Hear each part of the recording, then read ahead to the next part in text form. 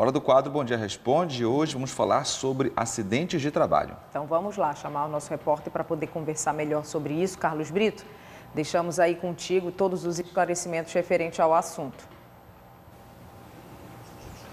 Isso, Thaís. E olha, já começo com dados preocupantes, né? Dados que foram repassados referentes ao ano passado do Ministério do Trabalho. É o seguinte, no Brasil foram registrados em 2021 mais de 578 mais de 500, perdão, e 71 mil acidentes de trabalho, sendo que desses quase 3 mil é, pessoas morreram aí desempenhando função. Aqui no Pará foram quase 9 mil acidentes de trabalho, sendo 77 com óbitos, quer dizer, dados preocupantes.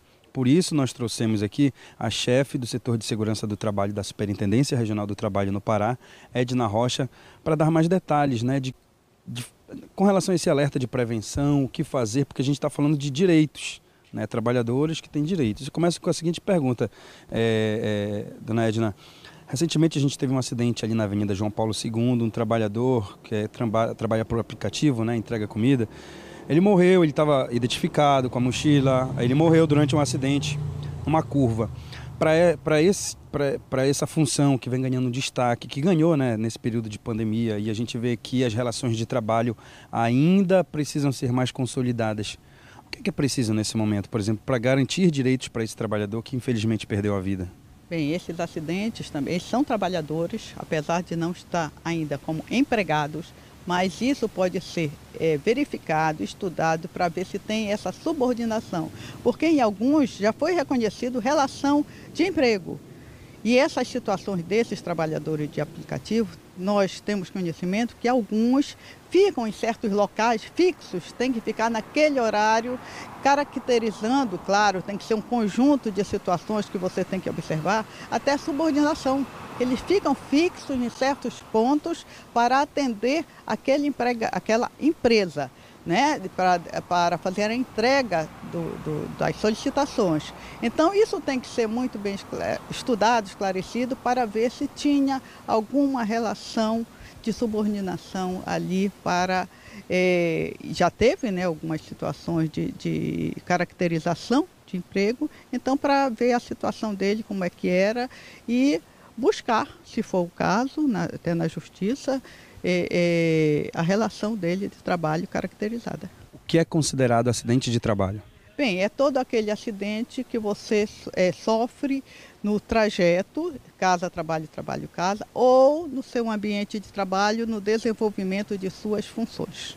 A gente tem aí a participação da CIPA, né, as comissões internas de prevenção de acidente. Qual a importância dessa comissão dentro de, de, de empresas? Existe um, um número limite de funcionários para que seja criada a comissão? Bem, essas comissões internas de prevenção de acidentes são de suma importância nesses ambientes de trabalho que dependendo do grau de risco e número de trabalhadores, elas têm que ter, é, ser é, constituídas. Porém, toda empresa tem que ter um representante. Se ela não está obrigada a constituir a CIPA, ela tem que ter um representante para verificar o cumprimento das normas. E essas comissões, ela têm uma importância fundamental, porque são os trabalhadores que fazem parte dessas comissões que eles se preparam, eles são é preparados, fazem cursos, conhecem bem o ambiente de trabalho, conhecem o entorno daquele posto de trabalho, quais são as interferências e buscam a melhoria desses ambientes e, consequentemente, é, buscando essa melhoria, a diminuição de acidentes. São trabalhadores que fazem cursos dentro da empresa, a empresa tem que estimular essa participação desses trabalhadores, porque ele tem suas atividades e tem ainda que desenvolver a atividade da CIPA. Então tem que haver o estímulo da empresa para uma participação efetiva desses trabalhadores na comissão interna de prevenção de acidentes. Era isso que eu ia lhe perguntar. Qual é o grau de responsabilidade das empresas na prevenção de acidentes? É total. A empresa ela tem que obrigar, ela tem que oferecer aos trabalhadores ambiente seguro e saudável. Ela tem a responsabilidade com relação à saúde desses trabalhadores. Então esse trabalhador ele tem o direito de chegar no seu ambiente de trabalho, terminar sua jornada e voltar com a sua integridade para a sua residência. Ele tem o direito a isso. Então E eu, só para alertar e lembrar de uma situação muito importante, que em situações de trabalho, onde o trabalhador perceba risco grave iminente à sua saúde, onde pode acontecer um acidente grave, ele tem direito, inclusive, a recusar essas atividades. Claro que passará, ele avisa o seu chefe imediato. Então, isso é uma coisa importante que precisa ser divulgado: o direito de recusa em caso de situações de risco do trabalhador poder recusar e avisar o seu chefe da situação que ele está detectando para que seja modificada a situação. Isso é uma coisa muito, muito importante que precisa ser praticada pelo trabalhador e entendida pela empresa para que é, é, haja essa mudança nesses números que você citou inicialmente. São números preocupantes. A gente trouxe, inclusive, esse tema aqui porque nós estamos no Abril Verde, né, um mês aí de conscientização, prevenção com relação a acidentes de trabalho. Então é fundamental que, os, que o trabalhador saiba dos seus direitos né, diante de situações como essa. Agora, como você falou, quando o sinal de alerta ele é ligado né, para acidentes de trabalho, o trabalhador detectou que existe um, um certo risco, um perigo, já alertou ao empregador, mas ele não fez nada, que órgão ele deve procurar? Ele procure o Ministério do Trabalho e Previdência, que fica na 9 de janeiro, no quarteirão ali do museu, entre Magalhães Barato e Gentil.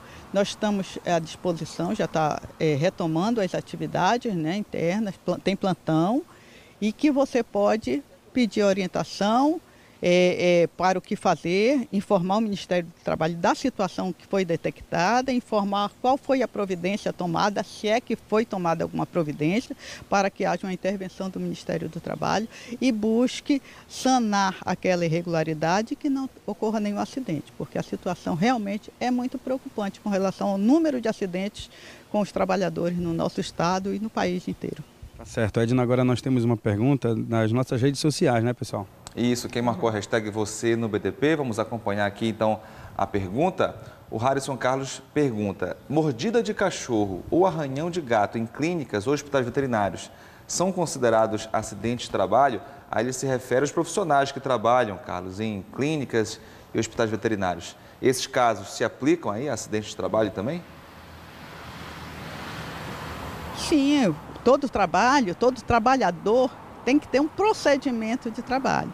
Né? Então, quando você está trabalhando com animais, então precisa ter que ter procedimento para evitar essas situações de agressão do animal com relação ao trabalhador. Eles estão ali, na maioria são dóceis, mas nem todos são.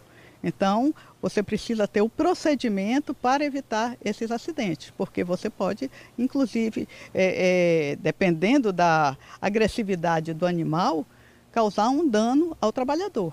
Você falou, Edna, em procedimentos, mas também a própria questão de itens de segurança, né? Os equipamentos de proteção são fundamentais, seja nessa profissão, como, enfim, outras funções que, que, que realmente necessitem, né? Sim, onde for estabelecido, após análise da atividade a ser desenvolvida, onde for estabelecida a necessidade de uso de equipamento de proteção individual, esses equipamentos, depois de estabelecidos, têm que ser usados pelo trabalhador, porque é aí onde vai ter, depois de todos os procedimentos, é imprescindível o uso do equipamento de proteção, não há é, é, possibilidade de mudança de procedimento para evitar, porque o equipamento de proteção é o último a ser adotado. Né? Primeiro você faz as mudanças. Então, se houver necessidade, tem que fazer o uso do equipamento de proteção individual, porque é onde você vai ter a proteção de você desenvolver sua atividade e não sofrer acidentes. Agora, Edna, em situações, por exemplo, onde esses equipamentos eles não oferecem tanta segurança, por exemplo, extintores fora da validade, enfim, coletes à prova de bala que já também fugiram ali da validade há muito tempo, botas, enfim, luvas coisas nesse sentido onde realmente os equipamentos estão gastos. O, o trabalhador já alertou o seu patrão, enfim, a sua patroa, mas nada foi feito. Ele pode, de alguma forma, tentar juntar provas e denunciar, fazer vídeos, fotos, coisas do tipo? Ele pode fazer isso? É importante que faça. É importante que faça todo esse levantamento para subsidiar até a ação do Ministério do Trabalho. A empresa ela tem obrigação. Se o trabalhador Inclusive o trabalhador que é, é, trabalha na CIPA, ele pode ser avisado. A empresa, toda empresa, ela tem que ter uma estrutura de profissionais na área de segurança e saúde, é, é consultorias, para que o seu segmento ele seja desenvolvido com segurança. Os trabalhadores, os procedimentos de trabalho, tudo isso precisa ser olhado para que o resultado final venha com sucesso.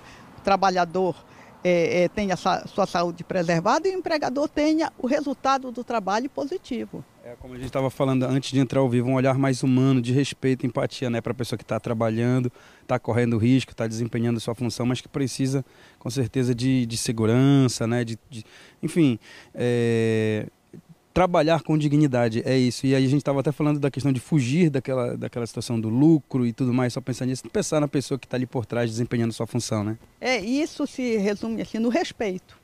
Você, como empregador, você quer o lucro, mas você tem que preservar a vida daquele trabalhador que está no seu ambiente, é sua responsabilidade. Então, essa parte do respeito resume essa, essa relação.